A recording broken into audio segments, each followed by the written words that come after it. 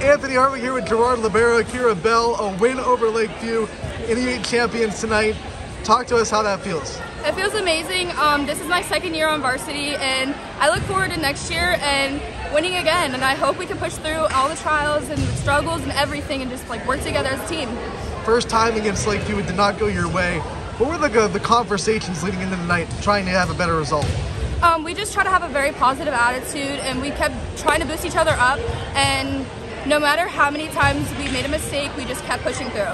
You had so many digs tonight in the back row. I mean, these hitters for like Lakeview came to play. What was it like trying to read them and try to get these balls up in the air? It was a struggle, but honestly, after I after like the first set, I started to get regulated to it, and I just tried my hardest. I tried my best, and I really followed along with it. You have two games next season, next week in non-conference before tournament play. But how does this one give you momentum into the postseason? I think it gives us a lot of confidence winning conference champs, and we're gonna just keep pushing, and hopefully we can win those games, and I believe we will. Big question: How do you celebrate? What's the plan? I think we're gonna go to get food and be together as a team. Awesome, good job, Kyra. Thank we'll you. see you again real soon. Thank you.